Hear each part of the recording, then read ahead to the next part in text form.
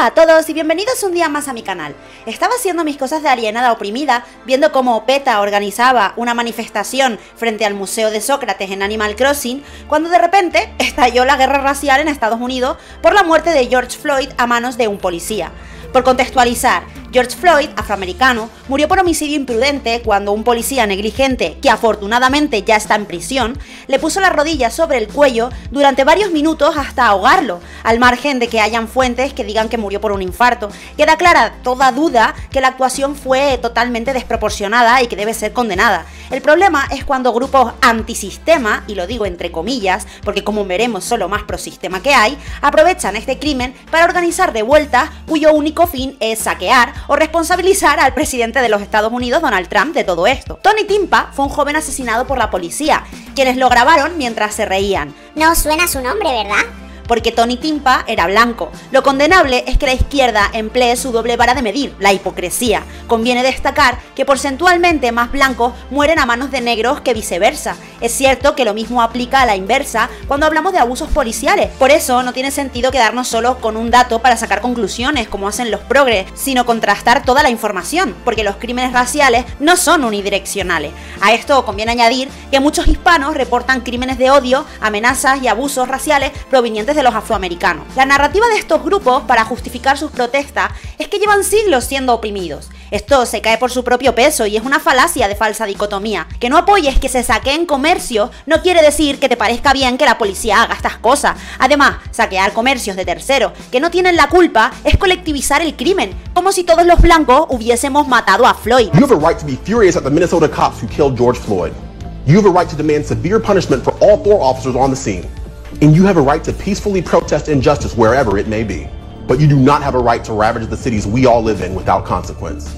You do not have a right to put your own fellow citizens of all colors out of work as you raise their places of employment to the ground.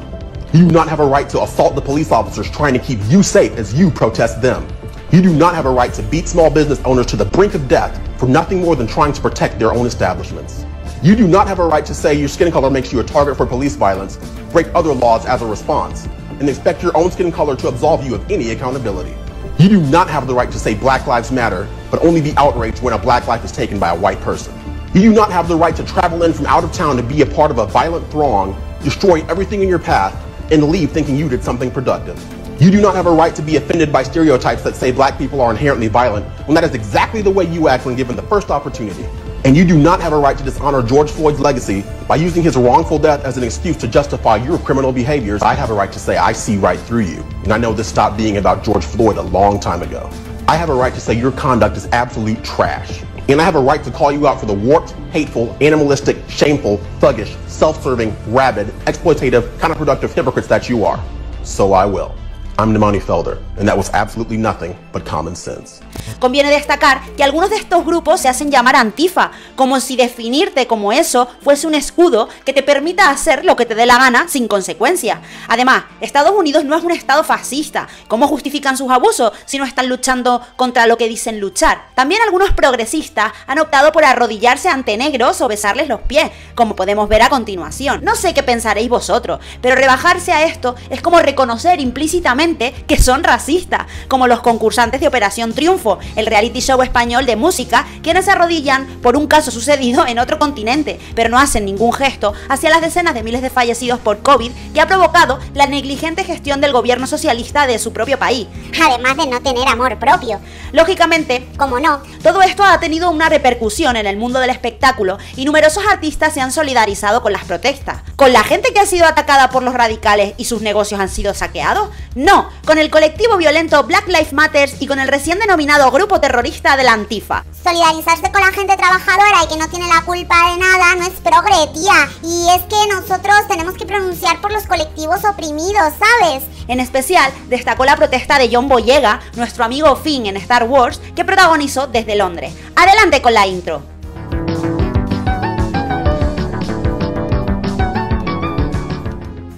Y es que después de varios días de revueltas en numerosas ciudades de Estados Unidos, llegaron los apoyos en redes sociales de todos los artistas e influencers que viven por el postureo. Sus protestas, en casi todos los casos, se limitaron a cambiar sus fotos de perfil con cuadrados negros o a hacer discursos lastimeros estándar condenando al racismo. O bueno, Taylor Swift culpando de todo a Donald Trump. Un clásico. Todos sabemos que el racismo es condenable siempre, pero es que no sé, hacer la vista gorda ante todos los disturbios, las agresiones gratuitas, los saqueos y daños a la propiedad ajena, que solo buscan venganza o simplemente crear el caos, me parece cuanto menos hipócrita. Además, tampoco es seguro que la razón por la cual el policía se excedió sea el racismo, pues parece ser que se conocían con anterioridad y habían trabajado juntos. De igual forma que el móvil por el que una persona acaba con la vida de su pareja no es el sexo de la víctima, no siempre que un blanco mata a un negro es por racismo. Aunque haya casos que sí. John Boyega, el actor que interpreta a Finn en Star Wars, se unió a las protestas de Londres, su lugar de procedencia, y en principio está bien que cada cual se manifieste por lo que considere oportuno.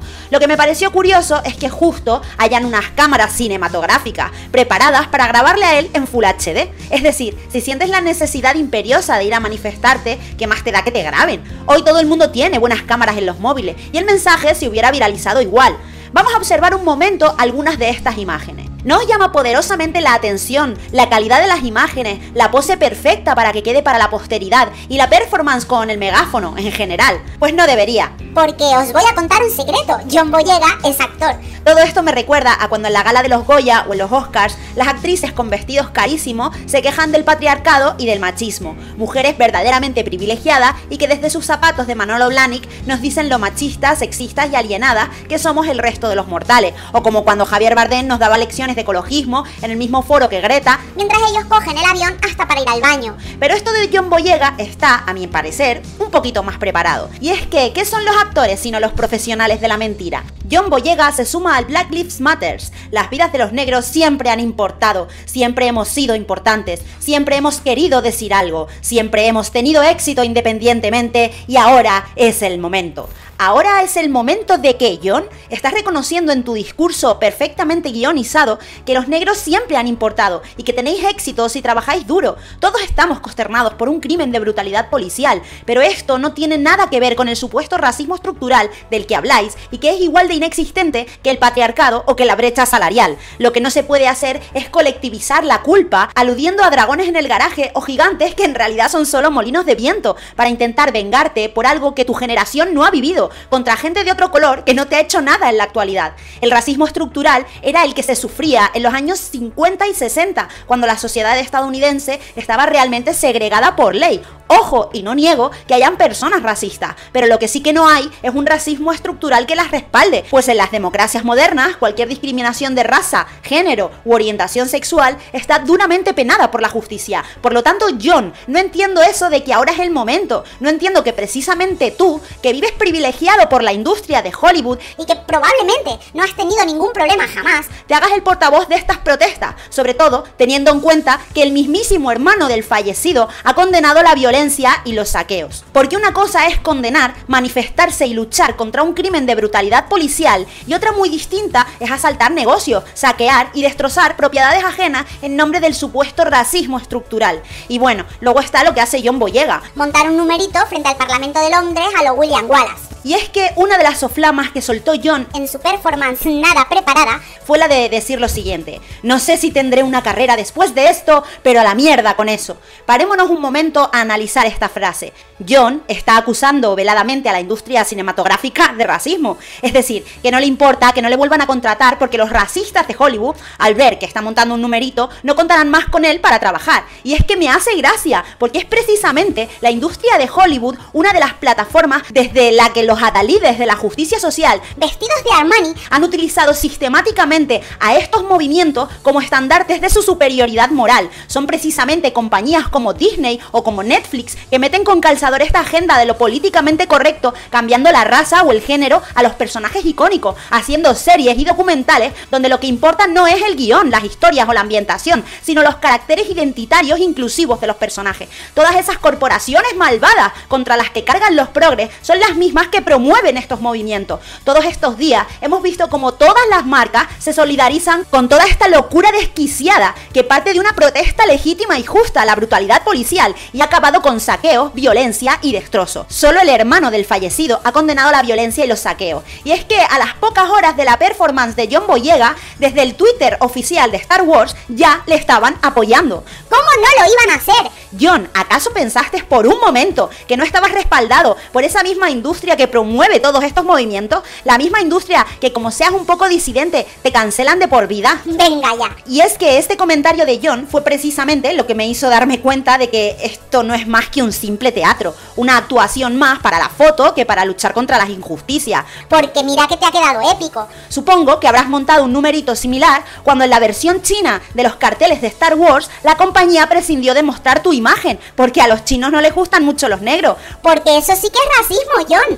Me imagino que habrás ido a los estudios y al departamento de marketing con tu megáfono y tus soflamas de Braveheart a montarle un pollo a Kathleen Kennedy. O a lo mejor te armaste de valor y fuiste a China a montar una protesta allí y decirles a los chinos los racistas que son. No sé, es que no he podido encontrar imágenes de esto, John. En conclusión, estamos viviendo tiempos convulsos y difíciles. La crisis sanitaria, el confinamiento y la histeria colectiva están causando estrago, pero no deja de resultar paradójico que sean personas privilegiadas con un estatus socioeconómico alto, precisamente quienes intenten ser percibidos como rebeldes irreverentes y revolucionarios cuando conforman la hegemonía y lejos de ser antisistema, sean prosistema que buscan agrandar el Estado que dicen combatir. De hecho, parecen niños mimados que no soportan no ser el centro de atención. Más que pronunciarse a favor de una causa, intentan monopolizarla para que todo el mundo aplauda lo empáticos, lo solidarios y lo sensibles que son, robándole todo el protagonismo a la víctima y ridiculizando su causa. De hecho, los propios afroamericanos, que quieren desvincularse del prejuicio de que son violentos, condenan con vehemencia los disturbios que estos progres ricachones y privilegiados defienden. Y para muestra, este botón. Good for you. That's an individual person. What about a systemic issue? Where? I am black. I've always wanted to be. I have a like. I do what I want. You have the skills. This is a country where you have the skills. You want to do what you want. You do it. Stop. Stop forcing on people to accept that they're oppressed. They are not. I am not oppressed. I am black. Stop making people accept that they're oppressed. You're forcing a rhetoric into your minds, which is not true. That's my point. Violence is wrong, period. It's not about blacks. You agree that whites kill black whites too, right?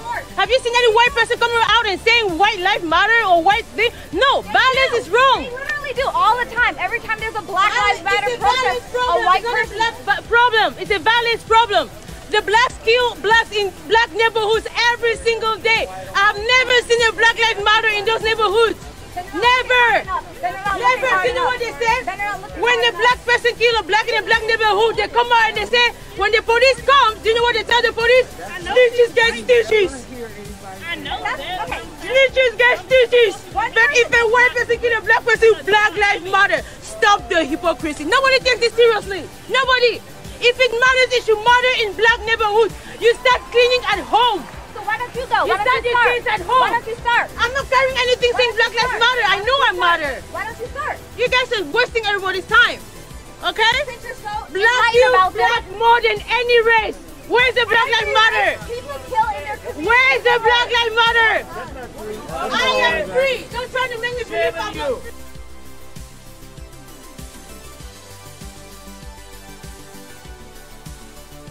Bueno, y si queréis saber más sobre todo este tema, os dejo enlazado en la descripción un vídeo del canal de Agustín Laje en el que explica con Mamela Fiallo todo lo que no te cuentan de este caos que se ha desatado en Estados Unidos. Y también os dejo un vídeo más detallado de la chica que hemos visto antes del canal de JDops eh, traducido al español. Echarle un vistazo, por favor.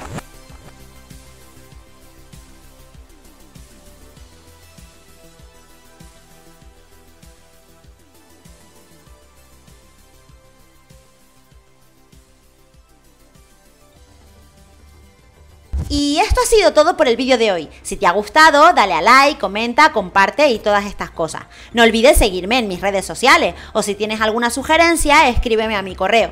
Y nada, yo os dejo que me tengo que ir a fregar. Un besito, chao.